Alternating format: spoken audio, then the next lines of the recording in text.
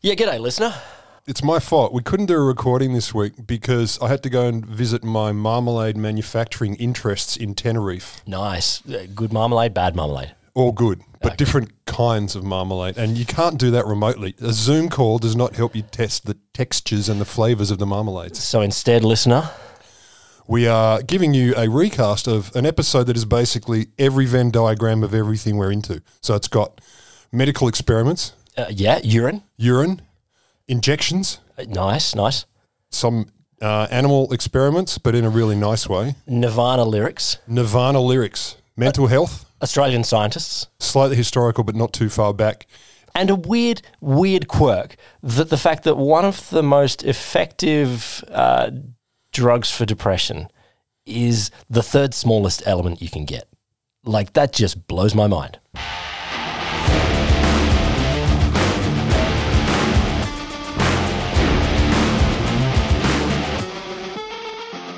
I'm going to begin as I begin uh, pretty much all my lectures. At the beginning. Yeah.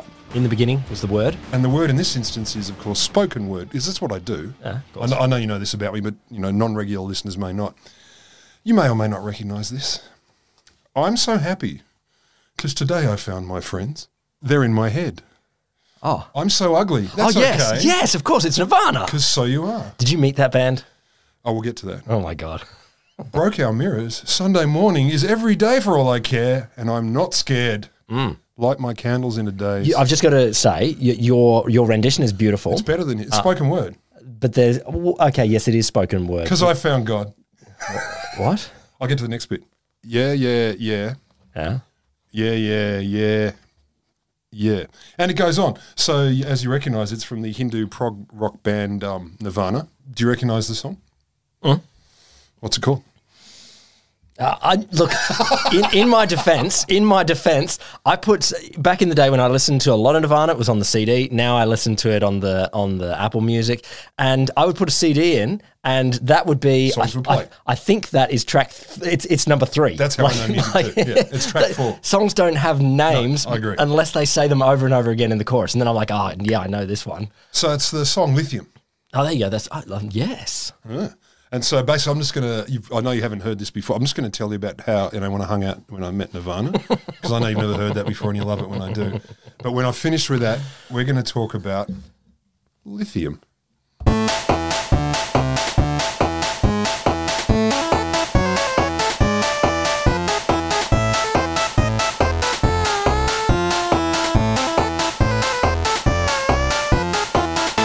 Welcome Welcome. to the Wholesome Show. Science stories for you if you maybe sit up the back of the class. If you're more like, um, you know, you, you like to learn, Yeah. but maybe you don't want to be seen like one of those suck ups next to the teacher. No. And if you're a suck up and you're here to, that's cool. That's cool. We love you too. Um, We, just don't, we don't love you in a weird way, though. We love you in a yeah, respectful sure, way. sure. But experiment with being the dead shits up the back of the class who like to like to crack jokes. You know, they pass messages, smoke a bong. Exactly. Those people up the back of the class. This is the podcast of science for you. And we ask the questions that those people would ask so that all you who sit up the front don't have to. The Wholesome Show is me, Will Grant. And me, uh, Dr. Roderick Griffin. I met Nirvana and you didn't, Lamberts. Let's talk about lithium. Lithium. Yeah, tell me about it. Because who doesn't love a metal? It's a metal. It's the lightest metal of the periodic I knew it was light because hydrogen, helium, lithium. It's like Yes. atomic element number three. I got it memorized all the way up to three. So it's uh, yeah, atomic number three, lightest of the solid elements. So, so it's not a gas. It's just light. It's light metal. yeah, But you can you can make like a tin out of it. You can make a metal object out of it. out of pure lithium, Yeah. It would have a tendency to burst into red flame if it came if it was pure and got anywhere near heat and stuff. Okay. All right. It's a little reactive. So in a vacuum, you could do this. Yeah, or you just mix it with shit. But it's it's basically found naturally in anything like rocks, soil, bodies of water. So it's around. Okay. Yeah. It's but it's only point. There we go. Point zero zero zero. Let me guess. Wait. percent. Oh no, I was going to guess. You were going to say seven. I was gonna I was gonna say seven. Yeah. It's soft silvery white. As I said, it's highly reactive, flammable, flares into a bright crimson, so it's pretty. It's good in fireworks and stuff. Okay. But you've got to store it in a mineral oil, otherwise it goes poof. So you can have a tin, but you'd have to have a your tin. Yeah, some mineral oil around the tin. Oil. Yeah, like standard tin or a rucksack. Yeah, Always. so you put the tin in like a Tupperware container Yeah. with mineral oil, Yeah. and so yeah, you can put your baked beans in there, but it's not that useful. That's how you do it. That's how I've always. That's how I carry baked beans when I'm carrying them with me. Apparently, along with hydri- hydrium, I was going to say hydrogen, helium. Um, Elements number one and two. Just if, if, if anyone's doing the count here. apparently, hydrogen, helium, and lithium are the only elements created at the birth of the universe. I know. But according to the Big Bang Theory, or however you want to word it, the universe should hold three times as much lithium as can be accounted for, at least in the older stars. So there's missing lithium. Yeah, there's missing lithium. Oh, It seems. dark lithium. Yeah. Anyway, so the Brazilian naturalist and statesman, and I, I know you you know the name, but I'll tell others. Yeah, cool, cool. Jose Bonifacio de Andrade e Silva, you know, you know, Jose. Yeah. He um, discovered the mineral petalite or petilite. I assume it's petalite, Yeah. but petilite sounds far more exotic. I love the petilite with the with the piquant sauce. And that's actually lithium alloys siliconio oxygen something. It's long. Uh, There's a lot in it. It's a, a more- chemistry thing. So some sort of mineral. Yeah. And he found it on a Swedish island in the 1790s, the island of Utu. I like the I like the reverse colonialism there. That uh, Yeah. someone from the colonies has gone and mined mined Europe at that point. And they backed that shit up. Uh, in 1817, so a little bit later, Swedish chemist Johan August Arfwedson, Yes. uh, he discovered that petilite, or petalite, contained a previously unknown element, Oh, did he? but he couldn't quite isolate it perfectly. He only got one of the salts out, lithium by triple salt, Yeah. Salty lithium. salty lithium. So it was first isolated, and best I could tell, either in 1821 or 1855. One or the other. You know what that is? You know what that is? Is 1821, they did it. 1855, they did it as well, but they did the lit review after they did the did Yeah, the work. yeah. And then, oh, fuck. God. Whoopsie. Oh, well, just Just claim it. don't tell your supervisor. Don't tell your supervisor. Well, one of them Just was, say you did the lit One of them review. was Robert Bunsen. One of them was Robert Bunsen, the chemist, and he's more famous. Inventor of the burner. yeah, no, he, yeah, he invented the Robert. so they electrolysized lithium chloride to separate it out. Okay. So we flash forward 1923 in Germany. They started commercially producing lithium To do what? commercial stuff. Um, for example, first fully man-made nuclear reaction was was based on lithium transmutation of lithium atoms into helium in 1932. Really? Hmm. There you go. You also can use lithium deuteride, which comes from this uh, transmutation, in um, fuel for staging thermonuclear weapons. The first major application of lithium was in high temperature lithium greases. Well, of course, got in any? lithium grease. Got any lithium grease? High temperature lithium. I need some. Li- is this for cooking your sausages super quick? And, and lubricating aircraft engines and shit in World War II. Okay. During the Cold War, the demand for lithium dramatically increased because, you know, nuclear fusion and stuff. The US became the prime producer of lithium in the late 50s Cool. and uh, up into the mid 80s. So lithium ion batteries increased demand for lithium quite a lot in the Ah, they do too. early Yeah. 2000s. So lithium ion became very popular. You've probably heard of it. I have. I have. I've. I've got a battery that is lithium ion. Do you? Yeah. Do you keep it in a cabinet so that no thieves can steal it? I keep it inside my things. Apparently nowadays, Chile and Australia produce the most lithium Cool. in the world. But I don't want to talk about any of that. I want to talk about lithium and health. Fuck. Lithium and health. health. So many people have thought of, you know, the, they believed in the curative properties of, Of metals. mineral waters, Metals. Yeah, yeah, Eat some metal. yeah. You need more iron in your diet. They don't mean like eat a car. Well, there's that French guy that did, He, uh, uh, bicycle. Oh, he ate a car, didn't he? and a plane. He got to a plane, He got to a plane. like in shavings in his. I, I got. I got to tell you, listener. I looked up this guy to do a wholesome show episode on it, and then I got to the end. I was like, "There's no story except a sad guy that spent his life eating eating metal." and bogged engine parts for the rest of his days. and and uh, and oh, like he did it for entertainment, and he probably had an okay life. I don't think he died of it, um, but uh, this is this is this is a very broad definition of entertainment. I'm bored. I'll eat a plane. I'm, I'm bored. I'll watch someone eat a plane. Like I am. See that that makes sense because it's on television. it's on a screen. It, it took him two years to eat the plane, so it wasn't. It wasn't like he sat down like Cookie Monster and crunched through the Oh, plane nom, nom, nom, in like four seconds. Me I mean that me passenger. that I would really watch. I would Cookie really Monster eat a plane. yes yes. watch I Cookie would, I Monster would eat really anything. really watch that. That's one of the stories I'm not doing today.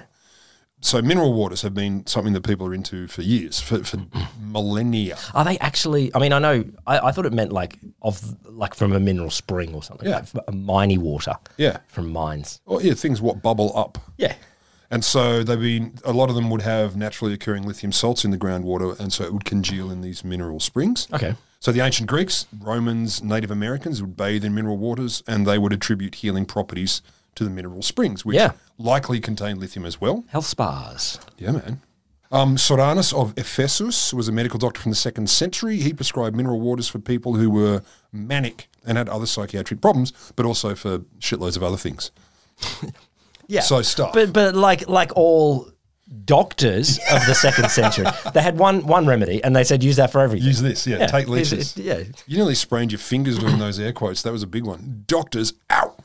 So in the late 19th and into the early 20th century, lithium was basically seen as a cure-all. And it was, So they knew it was lithium that was um, in the health spa water. or else it was, I mean, one article I read called it the turmeric of the late 1800s. so unless you're listening to this well into the future, turmeric is uh, quite popular in health health conscious circles. Do they bathe in it though? No, this is drinking it now. This is consuming it. So they'd add it to pretty much everything. So it was it was common for companies, of course, to bottle spring water, etc. But my favourite was lithium citrate. in, your, in your lemon juice. Oh, kinda. It's in an indigestible salt form. It was in the original Seven Up recipe. Oh, really? The the soft drinks we have now all came from these ultra wacky pasts. Yeah, cocaine, yeah, lithium, yeah, whatever. yeah. Yeah. yeah, This one's got heroin and live pigs in it. You know, it's great. Swallow a live pig with your bubbles. I also love. It was originally called when it was first marketed. Seven Up. was called bib label lithiated lemon lime soda. Yeah, I get why they changed that. Can you imagine the ad? You got the woman in the bikini as they used to have a Seven Up ads. Come and get your bib label lithiated lemon lime soda. Bib label. Bib label. Bib label. I don't. I don't know. I just don't know. Do you think it was a long committee meeting where they decided to change, or, Or the, or really the, new- or the new name? I've got a name. Done. well, each one says one, two, three, four, four. They knew they were going to call it soda, and then five people got to add a word. um, that was launched in 29, 1929. 1948, they stopped adding the lithium citrate. So it was, it was- until then anyway. It was thought of as a health drink. Now I confess, a chunk of the stuff I'm going to tell you about comes from uh, a piece in news.com. I'm not proud, but it was a review of a book by someone who actually has a brain. So this is not all that, that only comes from there. But so lithium as a as a cure, at least as a treatment for particular de- you know, particularly depression and bipolar, or what used to be known as manic depression, is still a thing. But where did it begin? So it begins in 1912 in country Victoria, Really? Australia. Are you serious? Yeah. I thought it was Phryne Fisher's murder mysteries and not much else in country Victoria in 1912. Yeah, no, no, but you thought it was going to be a Swedish island with Spaniards. I did, I did. For guano. Or at least the Germans, who were very happy to experiment with things in the 1920s. I thought, yeah. They, they weren't the only ones, though, to be fair. So, Doctor, well, he wasn't a doctor then. John Cade was born uh, in 1912. His father was a GP. And when he was little, his father buggered off to World War One, served in Gallipoli and in France. So he got he got the good stuff. Yeah. Uh, when he came back, he was suffering from what they were calling war weariness.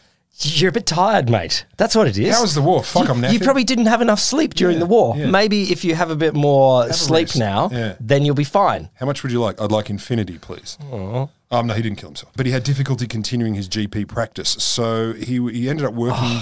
I was just just thinking about the, the oh. ways that they didn't treat PTSD after that war, Yeah. and it's not like they're better after And more recent since, wars. yeah. Yeah, I know, Yeah. but at least they acknowledge it and know.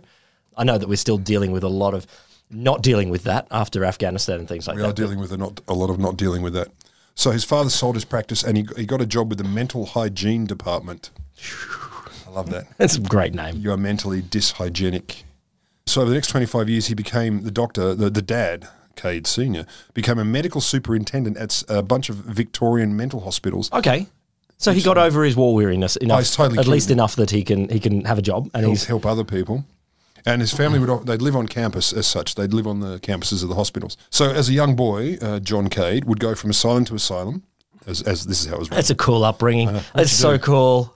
No, and apparently, so he, he would see mentally ill patients every day of his life, at least as a child, says um, a psychiatrist who is an author of a, a book about him. And I know that they did vary enormously, like those sorts of Yeah. institutions. You Yeah, could have you did. could have a a, a, a good, benevolent, well-meaning director, um, or you could have other. You could also have a good and benevolent, well-meaning director who did terrible things because Yeah, they no doubt, thought they no were doing the right thing. But remember, this is like pre-1940s. This is not a great time to be mentally ill. There never is a good one, but that would have been worse.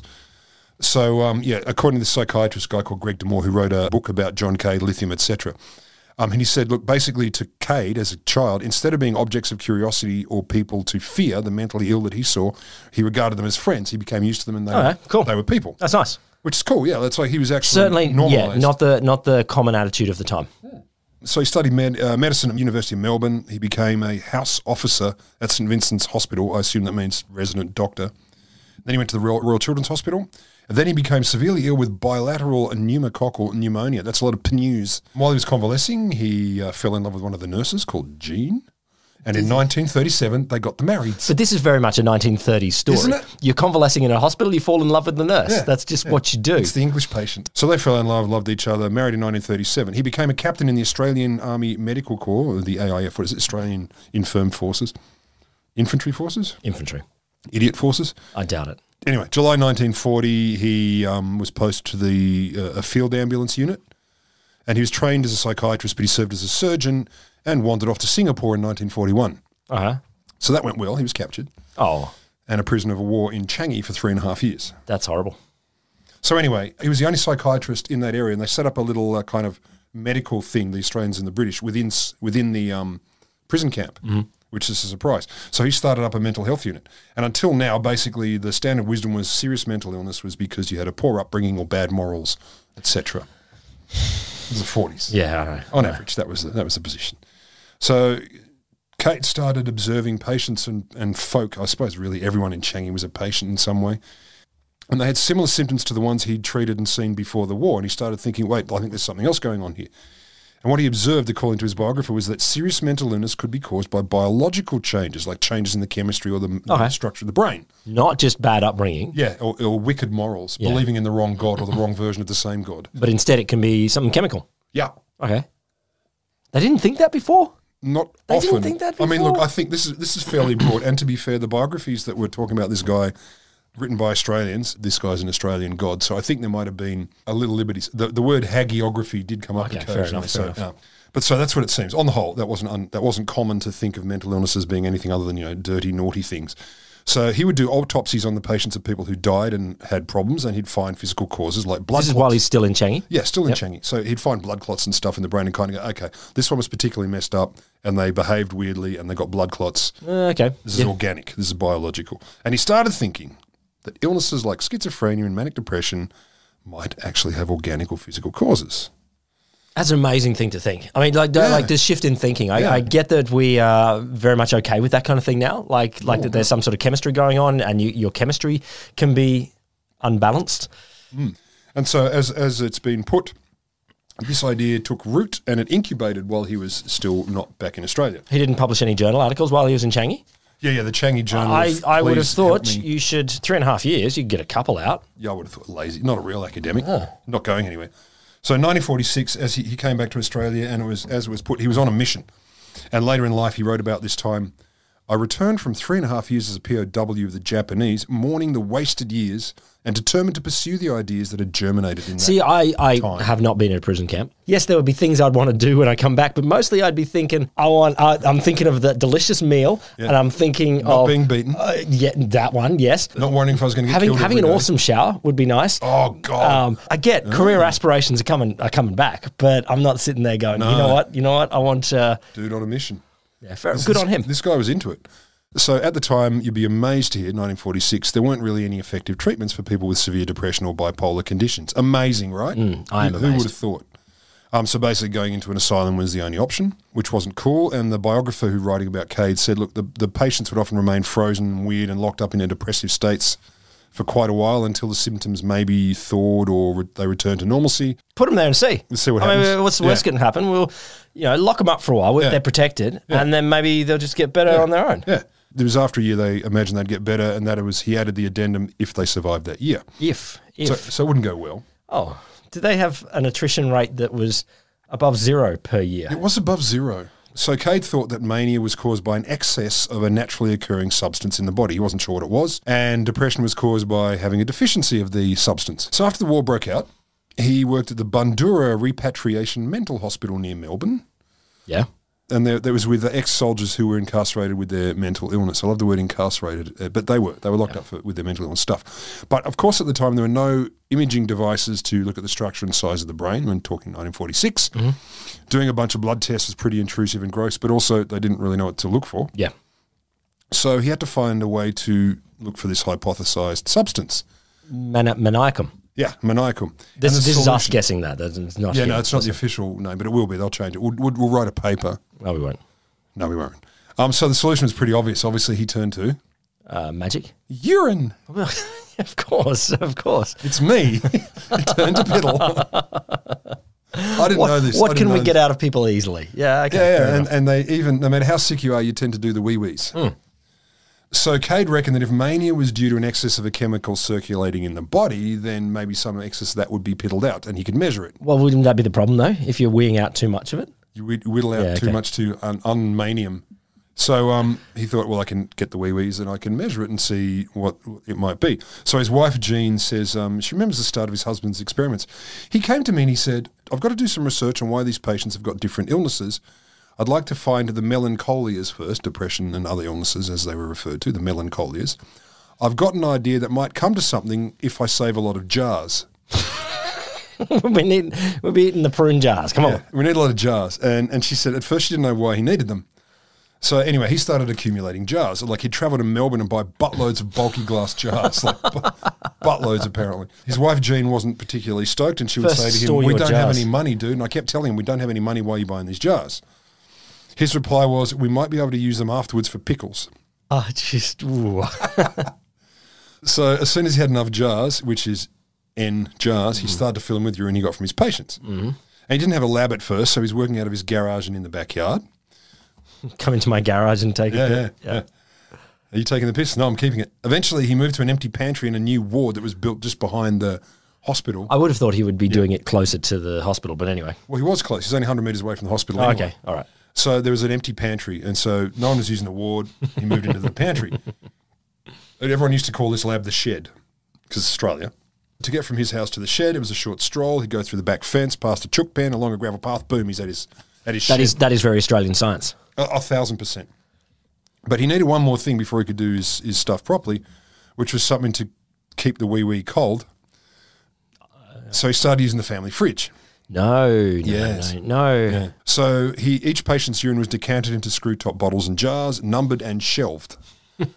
uh, every time anyone from the Cade family opened their Frigidaire door, there would be a whole bunch of jars Oh, of, of Dad! twinkle. Oh, That's saying like, oh fuck me. How do you put it? Ah. The stored jars of twinkle of several dozen mentally ill men would confront them. I don't know if it's better if it's your own or a family member, but Your own urine? yeah, I'm trying to process No. here. There's a little bit of me that says if it's mine, at least I'm respond. You know, know where it came from. And, and if it's within the family, it's like okay, that's that's gross, but we know the source material.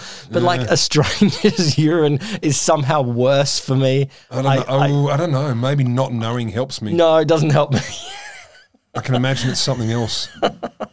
All right, so flip this around. Okay. So desert island, whose pee are you, drink, are you drinking a stranger's, or are you drinking your own, or are you drinking a friend's, and you've monitored their diet? Mine first.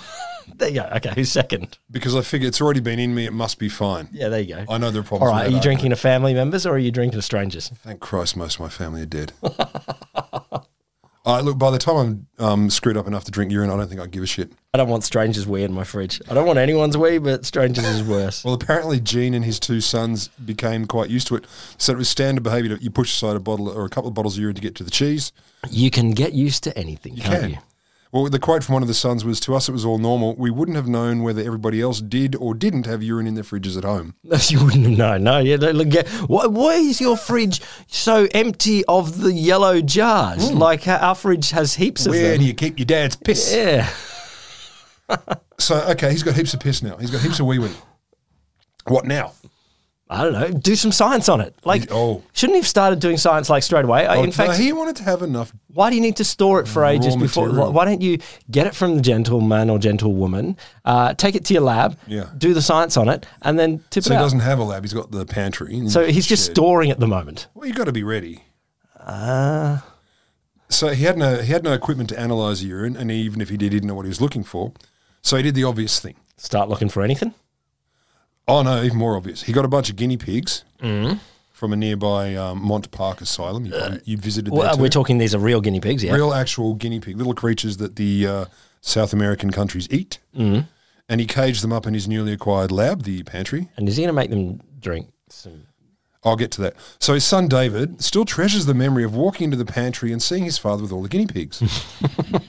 Dad, you're covered in guinea pigs. What a great day. I love my childhood. His quote uh, The guinea pigs were in cages, but we also had some at home. They got through a lot of kitchen scraps. I remember Dad hand, handing one of them on his left arm and stroking it. They were tame from constant handling. They were good looking. Sure. Tan, black, white. My favourite was a tan and brown one. That's one of the sons. His wife Jean reminisces. We had guinea pigs in the shed, lots of guinea pigs. As they died, we'd get some more. He was good to them. He'd call them darling, and he'd say, Don't you mind me doing this, as he injected them. With?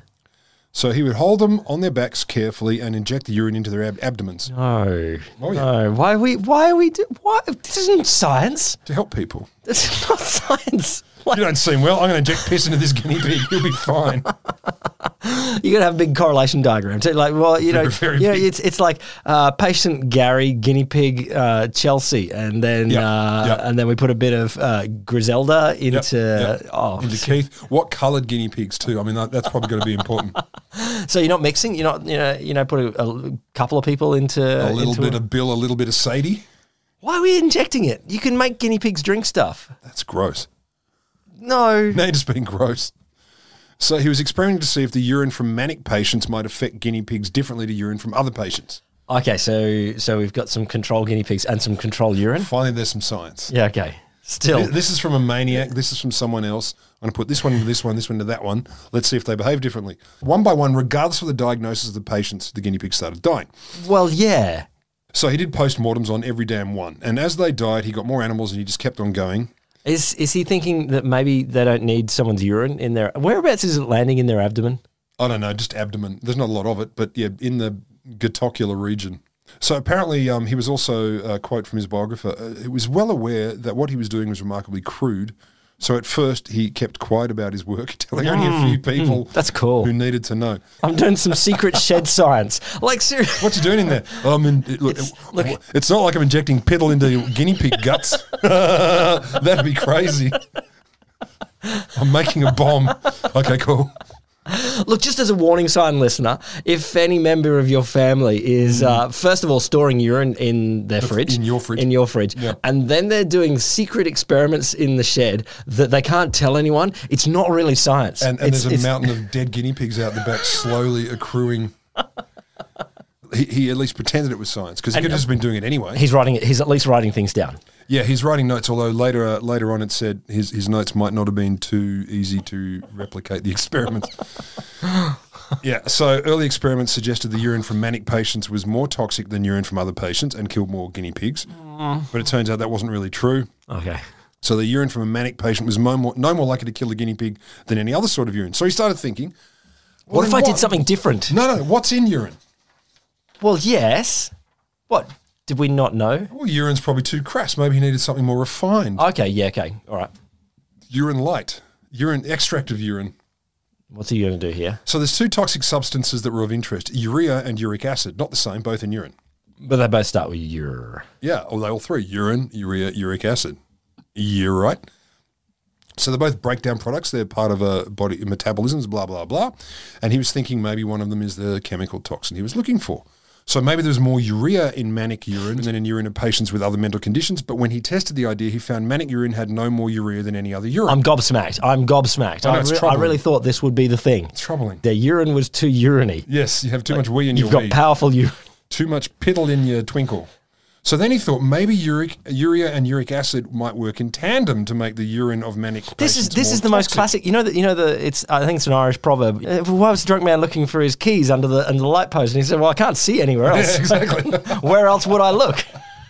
this is where it starts to get interesting. So he wanted to make up different strengths of uric acid that he could convert into a substance that he could more easily manipulate. All right. But on its own, uric acid doesn't dissolve in water. So he added lithium to it. Which gave him lithium Look, urate. look, obviously, listener, you know the end end as well. L- like, like Jesus, what a lucky fucker! Like he just I took know. at one moment in his life, he took. Well, why don't I randomly add the thing that's going to help? I told you it was about lithium Seriously, eventually. I'm going to play around in someone's poo. Basically, okay, it's not their poo, but not far off. I'm just going to play in the paddling pool of and poo. it stinks a bit, so I'm going to put some rose water under my nose. And rose water's the magic. Well, It's like he, he accidentally in, interjected antibiotics into Yeah. into the poo, and it's Yeah. like, Yeah. Jesus Christ. And he was using it as a catalyst. Oh my god! I like look. I, I yeah. will, in his defence, I'm assuming he documented this enough to then go. I have made a discovery, De- and that's, and that's a legitimate enough. discovery. Definitely but enough. Jesus, what a playing around in your poo way to do, make a discovery. Oh, there's a few more steps. they weren't perfect. So he added lithium. That gave him lithium urate. And of course, because he was adding new stuff, he's a scientist. He had to check if lithium was causing any confounds. So he'd he put it in a guinea pig, yeah, he'd put lithium alone in and lithium carbonate solutions into the guinea pigs as well as lithium urate. and they all died again. No, so he'd put it in the pigs, the guinea pigs, and they become more docile. Okay, And he said in one description, he simply lifted one guinea pig, one of the guinea pigs, he turned it over, placed it gently on its back after he'd injected it. And instead of fighting to stand up and basically get out of this entirely vulnerable position, it just kind of went, uh, that, that's cool. it's just blissing out. Just lay there, yeah. all right. And he did it again and again, he got the same results. So his quote was, they would lie on their backs, staring with soft eyes, while he gently prodded them with a stub of the index finger. He'd never seen them behave like this before. They seemed alert, but they were calm. Hang on, does is he missing like a chunk of his index finger? no, this is described as stub. I assume they just mean I was just kind of visualizing him as a dude Oh yeah, he only had one hand as well. and he had a limp, and he spoke like a pirate. Didn't I mention that? You should have done. I thought some crazy, crazy shit happened during the war, and he's Yeah, just yeah, he's just got stub fingers to do his science with. Most most people. Listener, if you have stub fingers, that's awesome. I'm I'm celebrating stub fingers. I just like to visualize this. you're celebrating stub fingers. I am not that I do it myself. I'm just saying. God, you're a diverse person. I'm just saying that he's if he's prodding with just the one knuckle of His finger, single and he's doing all his science with Yeah, one knuckle. yeah. Look, if that is the case, it didn't come up, which you'd think it would. It, it should. So the next step to him was obvious, um, and the quote from his biographer: because he was a man of great honour and he was very religious.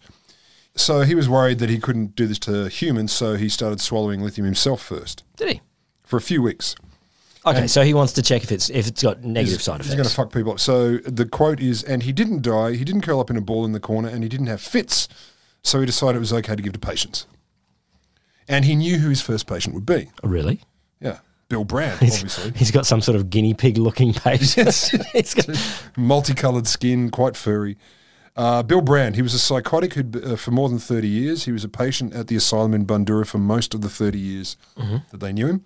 He used to rummage around in rubbish bins at the asylum. He was manic. He'd try to spend all the money he had. He'd abscond if he got anything. So he was he was a flight risk. Um, his life was the quintessential life of a seriously mentally ill patient. He'd cut off the tips of two fingers while working as a labourer. Stubs. Yep. Not Cade, though. He was disowned and alien, alienated from his family, and he'd just been left in the asylum because they Okay. didn't know what to do with him. So the guy was fucking sick. Yeah, yeah, yeah. He was not a well guy. So in March of 48, 1948, Cade put Brand on some lithium He didn't. He didn't put it in some urine first, and then in- injected into his gut. Yeah, guinea pig urine, though, to balance it out. so I love the quote again from the biographer. A man with a strong moral compass, Cade felt this was the ethical thing to do. What? to give this guy lithium because the guy was almost certainly going to die a miserable death alone. There was nothing much to lose because he was already having a Oh shit yeah, life. yeah, yeah, yeah. yeah. Sure, It's fucked anyway. sure. Yeah, exactly. So let's just fuck him faster, maybe. There were no ethics committees back then, so he's only answerable to his own conscience. Oh, look, and I don't. Uh, there are still uh, situations in society where someone is sectioned and they can have uh, medicine Yeah. given to them without their consent because they're not able to give some sort of consent. And Yeah, supposedly. Yeah, yeah, Yeah, yeah. yeah. yeah. yeah. What, what are you gonna do? He, was, are you gonna do? he couldn't say no. I got, I got a barrel of guinea pig urine here. what am I going to do with it? Yeah, It's got to. It's got to get somewhere. Yeah, might as well give it to this guy. So he made a, a liquid lithium solution, and over over three weeks, as he fed it to him, Brand started to get better. So his speech stopped being manic. He stopped rummaging in the bins. So apparently, after about two months, Brand, our, our buddy from the, the psychotic, walked out of the asylum, back to his old job, perfectly sane. Two months. Wow. Two months. Um, and they said, look, basically nothing like this had been seen. In and this, his health whole job was the rummaging through the bins, I mean, not? that No. was a labourer where he'd lost a couple of Oh, fingers. yeah, okay, yeah, yeah. Um, but the psychiatrist who wrote this biography said, in many ways, Bill's story is archetypal of many mental health sufferers. So he returns to his old job because he's well. Because he's well, he decides. And he's well forever now. He's, Well, he's that's it. He said, "Well, I'm well now. I don't need the medication." oh This happens a lot. So he gets sick again, gets Yeah. bipolar again, gets goes back to hospital. So when he gets back, Cade goes, "Well, fuck me, lithium worked. Let's give him more and more and more to get him back to normal." yes. But too much lithium is toxic, Ah, okay. And so in the late 40s, they didn't know what the correct dose would be because Sure. it's experimental. Okay. Sure. Sure. So Brand got lithium toxic basically and died in 1950. oh, all right. Yeah, which really fucked Cade up. So Cade was really freaked, and he went, I, "I don't, I don't like this anymore," and he wasn't sure about whether It was it a good was a pretty big hint though big that hint, um, something went right, and I get that Brand was having a bad life, and Hmm. it ended badly, no doubt. And it, it says, look, so in parallel with Brand, or maybe Brand was the first, I'm not sure, it wasn't clear, but Cade had treated 10 people with mania, and he wrote this up. He actually did publish something. There you go. So in late four, 1949, Journeys into guinea pig wee, yeah, etc. And then right, very right, right down fridge the piddle I've kept. Yeah. In September, he he he reported these dramatic improvements, and he put it in the Medical Journal of Australia. Oh, there you go. September, sorry, 1949. The majority of the patients had been in and out of Bundoora for a number of years, but now five had improved enough to return home to their families. So that was good, five out of 10, which is mm-hmm. better than none. Okay. Um, the I, paper, yeah, I'm not going to quibble. They can quibble. Well, you know, half of them, and also they'd been in and out already. Yeah, So like, yeah. the, and Look so five of them your- continued with the in and out. You and your facts and your knowledge and your actual observations of reality. True, though. But yeah, five, five out of 10 is better than none out of 10, and none out of 10 was more common. Okay. So 50% improved, which is it's great. Um, but the paper went largely unnoticed, and in 1950 he abandoned lithium experiments. Did he really? Yeah, he just went, oh, fuck it.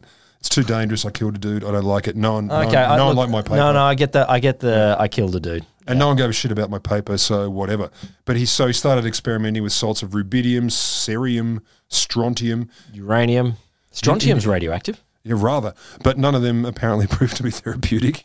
I'll get to the end in a moment. But as an aside, Cade, much later in his life, he said he realized that the guinea pigs were probably becoming calm because it was a, a, a side effect of toxic amounts of lithium anyway. It's, it's passive lying around. So Uh, yeah, okay. even, even then, it was likely that maybe the reason it seemed to be working Yeah. Okay. was oops as well. it's all, all so much oops. So anyway, um, in the 1960s, his discovery was actually heralded as something really good. How'd this happen? I'll wander into it. So I'll, I'll get to the where lithium is today to close this out. But um, he did this amazing thing, but he was very quiet about it. Say his biographers. He wrote a book on the history of psychiatry after he retired. There was a chapter on lithium, and he didn't mention that he was the individual who discovered the miracle of lithium and how it could help people with bipolar. That is weird. It is weird. That's weird. Yeah. It's like. uh Maybe maybe he was still like, uh, look, I kind of did All right, maybe he's weird- feeling a bit guilty, but don't don't write the chapter if you're feeling a bit guilty. Or maybe I was lucky and it was a history of psychiatry. So he's just like, look, it That works is now. so weird. Yeah, he didn't do it. Uh, allegedly, again, he was a, a humble guy. So he died in 1980, November 1980. Hmm. And there are heaps of honours. Like, so there, there's a psychiatric areas uh, around the hospitals in Australia are named after him. There's a National Health and Medical Research Council, couple of grants called the um, NHMRC John Cade Fellowship in Mental Health Research. Oh, cool. 750 grand a year for uh, two of them. Uh, the Guinea Pig Society Yes, the Guinea Pig Society. and the Urine Urine Appreciation Society. What did they say? They got a photo of him. It's like the Rotary Club and the picture of the Queen. That's what they're like. Urine Keepers Anonymous. Yeah. So he's, he's well acknowledged, he's well liked, and well considered. What about lithium? Where are we at? Yeah. Where, where's lithium end up? So, an Australian source, obviously, called lithium the quote, penicillin story of mental health. And I can see that because, Yeah, okay. yeah, Yeah. accidental oopsie poos, let's keep trying, holy shit, something worked. Mm, Which penicillin, I'm summarizing, but was pretty much Of of a similar type. like yeah. that. Collecting a whole bunch of urine and then you. and you forget to wash your dishes, boom, I've, then I've suddenly, cured yeah. things. Um, but another source says we need to acknowledge the Danish psychiatrist Mogens Schou, who also fought long and hard to get lithium accepted as a treatment for bipolar disorder since the early 50s. So, yeah, he and a buddy found it. They got into it. They did double blind, placebo controlled clinical trials. Oh, they did actual science. Yeah, they did real hardcore science. And did they do like a little bit of guinea pig injecting on the side just, Just to just to keep the tradition? like you know, we did some proper science and some guinea pigs. just just in case there's something Cade missed, because maybe we can help animals too. So in the 19 in 1970 in the Lancet, they published a paper that established beyond doubt that lithium was effective for most people with bipolar. So it took till wild. 1970. And so basically, people who Lord uh, Cade is the only guy say, look, we've got to we've got to be aware of these other two dudes as well, at least. Okay, fair enough. So thanks to them all, it's easily manufactured. It- The, the element was never patented by pharmaceutical companies, so it's cheap and available. Well, you can't patent an element. No, you can't. That would be rude. Well, I don't think you can. I mean, I mean God maybe, um, God already or holds the, the, nature man. of the universe. God, God holds all the Patents, Yeah, exactly. But God, God's like a, a Creative Commons sort of guy. I think he is. Like, I reckon you're right. It is do, nearly, do what you like. Do I what nearly like. spat my delicious Bruny Island waste out all over the oh, microphone. So lithium, of course, isn't perfect. There are side effects. It's not perfect. I actually, How could this be? I actually years ago worked in an area where I, I was interviewing a bunch of people who, for research purposes, who were suffering greatly from bipolar and deep depression. Yep. And the ones who are on lithium, the side effects, particularly, it was horrible to see. Uh, the women were very large, and Oh, okay. uh, a lot of them had thinning hair, which is some of the side effects. Like you do, It's- it's Some non-zero. people pay, yeah, Yeah. But you also get you know like hand tremors, frequent urination, thirst, stuff like that. There That's you not go. uncommon. it can cause irregular How, heartbeat. how frequent are we talking? Because because you know, the there's there's there's times and days where I'm like I feel like I got that like side that. effect anyway. Well, stop taking so much lithium. yeah, there are, there are a lot of potential side effects. Kidney disease can happen. You can get too much calcium in the blood, blah, blah, blah, blah, blah. Mm. So if it doesn't work for you, it can be a problem. But if it does work for you, it's life changing. So today, there was a piece in Nature in 2019 that said lithium helps to stabilize the moods of millions of people with bipolar disorder today. But you have to be careful because of the side effects. So you've got to be very dose aware. And its mechanisms are still a mystery. That's the thing. I love that. It's That's- classic that's psychiatry. We, it works, but we have no But idea but why. even more than classic psychiatry. Yeah. It's super super simple as an element. Like it's it's Yep. as simple Yep. as you can get. There ain't Well, nothing to it. Close enough. it's like there's only two elements simpler and and then it works that is so weird like every other Yep. chemical that Yep. that we have that we take you know you look at those chemical diagrams they're huge and they interact weirdly Yeah. with the cells and and with Yep. molecules Yep. this thing's tiny This one's like it's a really dumb, simple thing, and we put it in there, and it seems to mostly work. so, So- we don't even know No, they speculate. Oh, you know, something to do with the functioning of neurotransmitters, blah blah blah. But like, well, well, yeah. And um, here, here's my favorite, which kind of brings us back to the natural spas, etc. So in July of last year, 2020.